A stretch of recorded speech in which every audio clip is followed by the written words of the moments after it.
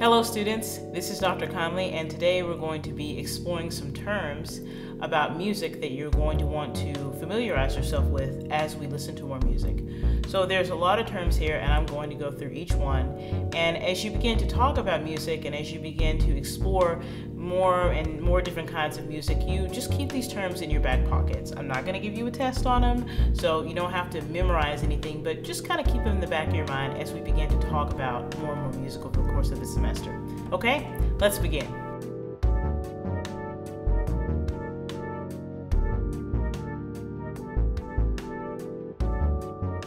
Dynamics. Dynamic is a term for how loud or soft music should be played. We've talked about this before in some of our classes. Uh, loud, soft, uh, medium soft, all of that, and we're going to get to that later on. But basically, what you need to know is dynamics, how loud or soft the music should be played. A crescendo is to gradually become louder. So as you hear a piece of music that starts really soft and gradually gets loud, that's what crescendo means. Dynamics and crescendo. On the flip side of that, we have decrescendo and diminuendo. Sorry, here it is. Decrescendo and diminuendo. Decrescendo meaning to gradually become softer. So as you get louder and louder and louder, you get softer and softer and softer. Diminuendo meaning to gradually become softer. So essentially, these two things mean the same thing decrescendo and diminuendo. Now, here are some terms that you can definitely use as we start our music listening process as well. The words forte and fortissimo. We've kind of used these in class before, but let's familiarize ourselves with them now. So both these words are Italian. Forte means just plain loud. It's just loud. When you're out on the playground, things are loud. You can't hear much because things are so loud. In terms of music, you might hear all the instruments playing at once or you know percussion playing, but forte just means loud. It's symbolized by just an F. Fortissimo means very loud. Maybe you're hearing a garbage truck at night. Maybe you're hearing um, firecrackers. Maybe you're hearing, you know, kind of an explosion of sound or somebody's kind of shouting in your ear, although that would be very unfortunate. But we've got fortissimo. So that means double loud. And it is symbolized by the double F.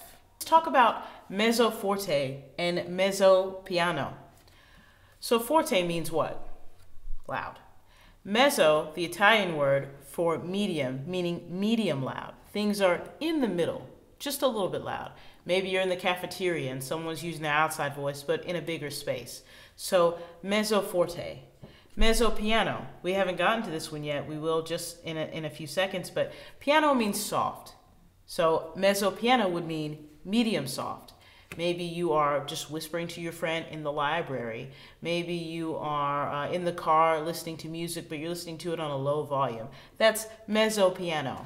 And they are symbolized by the letters MF and MP. So here we get to the terms that we were just talking about pianissimo and piano. So if piano means soft, what do you guys think pianissimo means?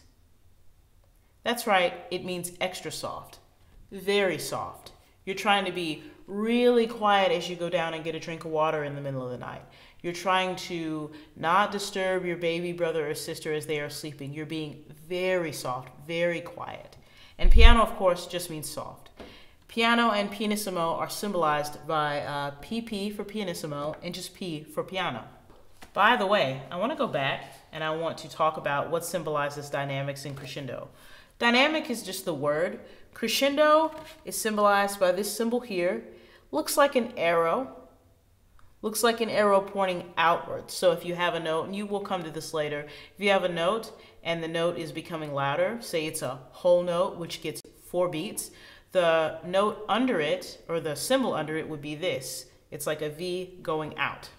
And the symbols for decrescendo is just decrescendo and dim, diminuendo. Diminuendo is the opposite way. So if you have a whole note like this, you would have the decrescendo going downwards. You're going down with the, the sound, getting softer. Let's talk about some tempos. We talked about this in our last class, and we mentioned a few of them that I'm going to bring up here. The first one that I know we mentioned is the word adagio. Adagio means slow, and allegro means lively and quick. The differences between these two words are obvious. Adagio is spelled differently, allegro is spelled differently, of course, so it should be easy to keep them straight. Adagio means slow. Adagio, adagio. Kind of makes you want to yawn when you say it, right? Allegro means fast, fast and lively. Let's talk about these two words. The word fermata, fermata and grave. Fermata is a hold or a pause on a note.